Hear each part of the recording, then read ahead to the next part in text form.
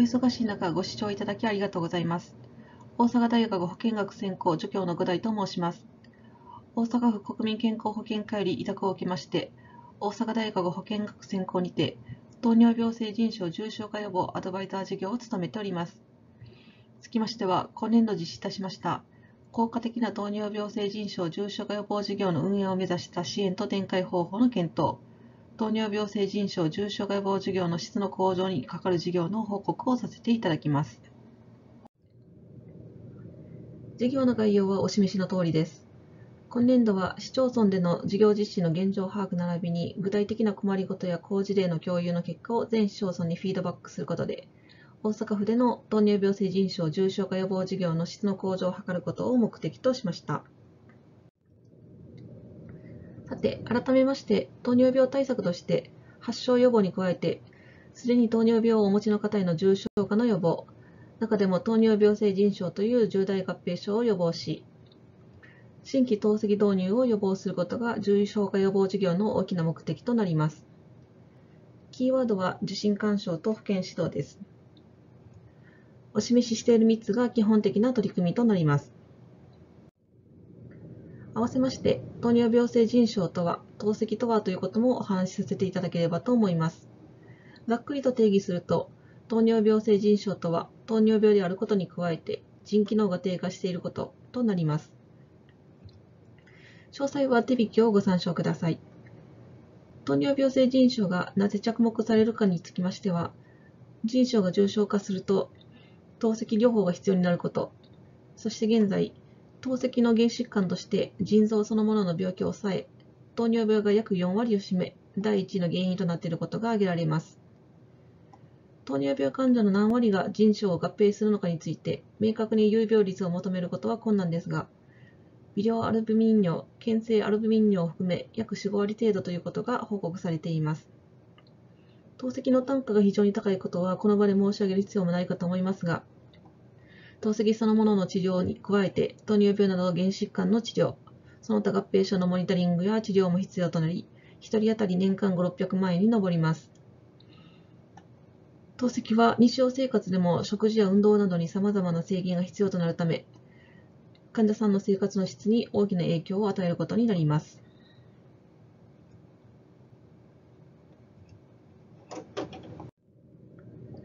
そうした背景の中、11月に今年度も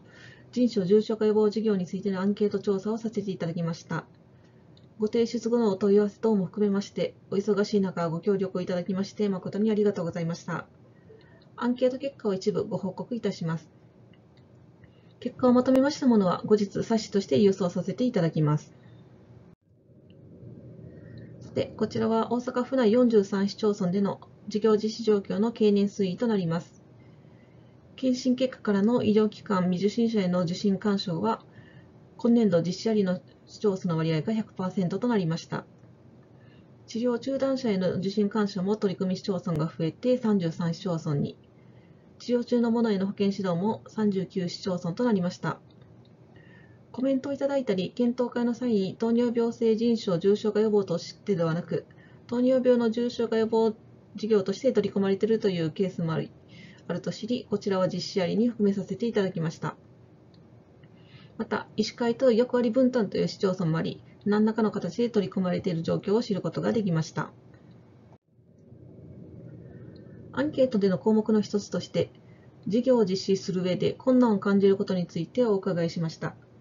困難な順番1位に最も多かったのは、事業実施者の確保。1位から3位までの延べ回数で見てみますと、かかりつけ医、医師会との連携、事業評価について困難を感じている市町村が多いということが分かりました。かかりつけ医や医師会との連携については、かねてより課題と感じてられる市町村が多いとの印象がありましたので、今年度のアンケートでは、例年よりも詳細にお尋ねさせていただきました。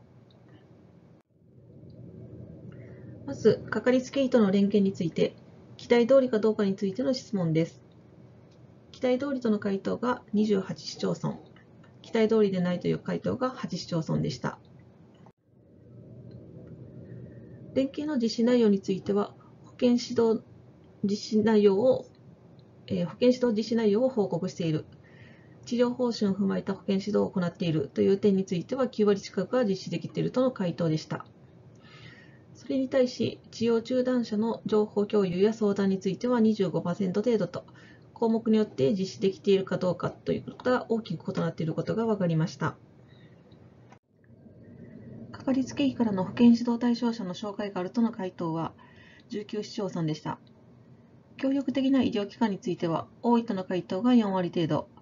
わからないとの回答も多く、答えづらい質問となっており、失礼いたしました。市町村外へのアプローチについては、10市町村が困ることがあるとの回答でした。次に、地区医師会との連携については、期待通りが25市町村、期待通りでないが14市町村でした。連携しやすさについては、32市町村が連携しやすいとの回答でした。なお、連携しやすいと回答した市町村の方が期待通りの連携ができているとの回答が多かったです。連携の実施内容については、かかりつけ医との連携に比べるとばらつきは大きくありませんでしたが、地域の糖尿病性腎症の現状や動向、保険事業の狙い等の共有が最も実施できており、地区医師会を介したかかりつけ医と糖尿病専門医、腎臓専門医等との連携体制づくりについては、他の項目に比べても実施できている市町村が少ない状況でした。また、事業評価と関連することもあり、保健指導事業の事後フォローについて取り上げてみました。事後フォローを実施しているという市町村は、令和3年度より3市町村増え、27市町村となっていました。フォロー内容としては、検診結果の確認が最も多く、受診状況の確認、個別フォロー、集団指導の順となっていました。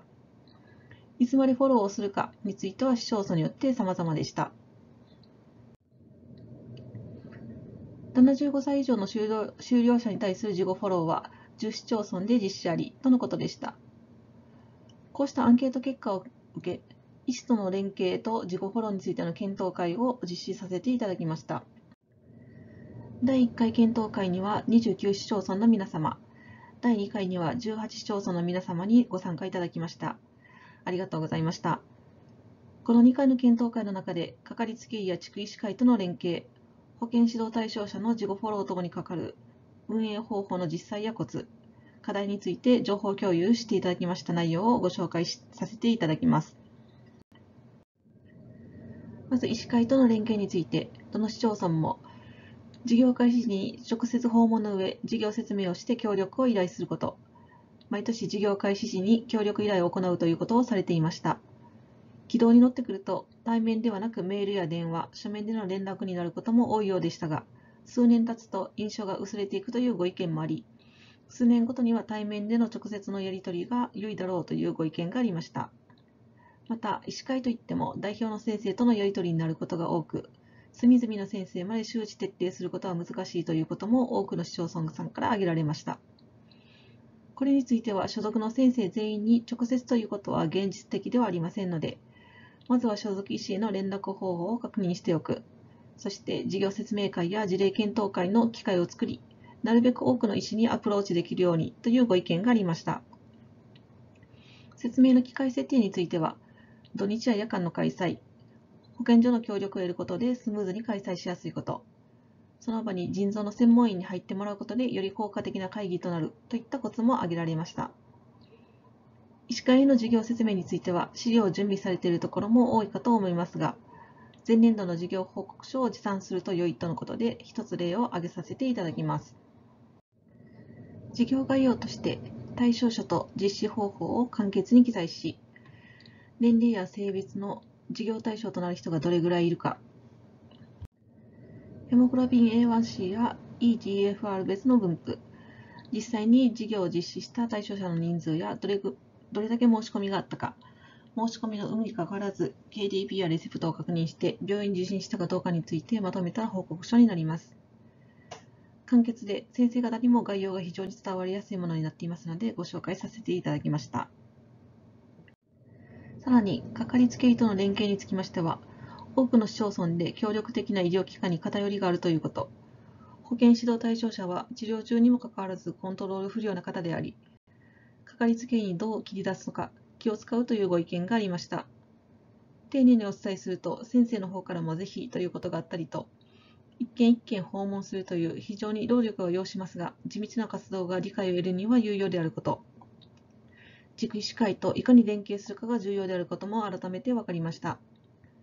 先生方に書類を送付する際にはカラーにしたり、カード状にするという工夫、保健指導内容と対象者の反応を重点的に報告するという工夫も共有されました。また、指示書料のことについても話題に上がりましたが、決められた金額はない中で、介護部門と金額を揃えているという市町村も多いこと、市町村それぞれで違うということを説明すると、大抵は引き受けてもらえるということも情報共有されました。個人情報の保護の観点からの懸念として、対象者のリストを医療機関に伝えてもいいのかという点については、事前に覚書を締結しているという具体例も紹介されました。事業として予算を投じていることから、対象者を適切に抽出すること、人数を確保することも求められる中で、抽出した対象者から実際に参加する人数が少ないという課題は共通していた一方で、そもそもの対象者については、市町村の規模によって人数が異なってくること。事業開始年度が早かった市町村では、手上げをしてくれるような方はすでに参加済みなどの状況もあり、抽出基準をどう設定するかは一律というわけにはいかないということが分かりました。医師会やかかりつけ医との連携の中で、特に一医師会で複数の市町村を管轄する場合には、抽出基準がなぜ違うのかという質問を受けることもあるとの声が聞かれましたが、市町村によって健康課題の優先順位も異なりますし、市町村ごとに丁寧に抽出基準を設定する必要があり、医師との連携の際には、抽出基準の設定理由について説明できることが重要であると考えられました。保健指導プログラムについて資源利用の観点からの検討は必要でありますが、リピーターの参加も可能としている市町村もありました。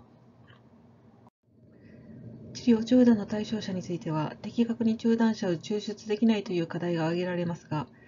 服薬歴の中断者で絞ると、本来の対象者に近づくということで、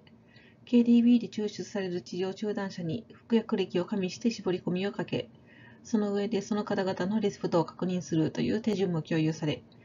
何人ぐらいが抽出されてくるのかといった詳細についての質問があったり、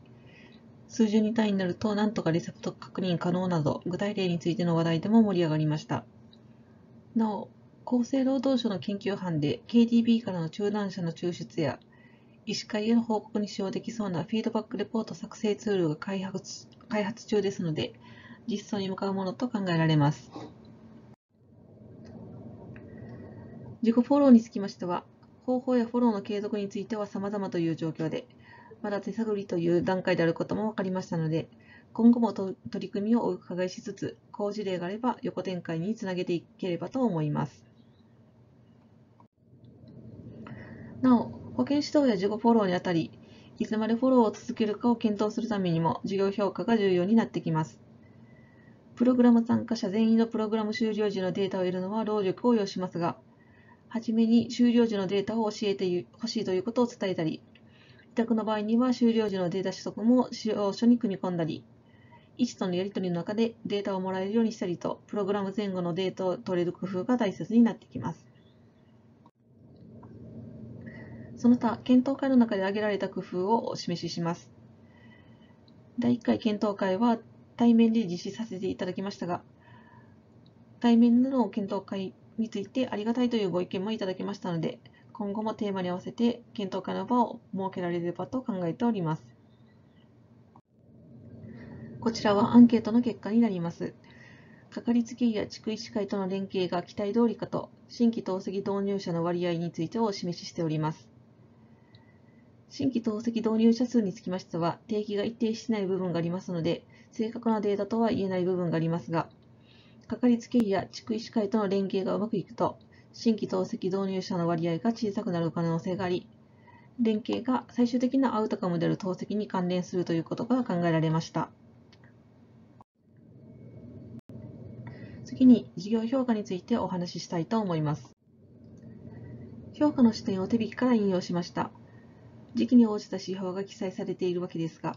これらの指標で評価するためには、検診を継続的に受診してもらうこと、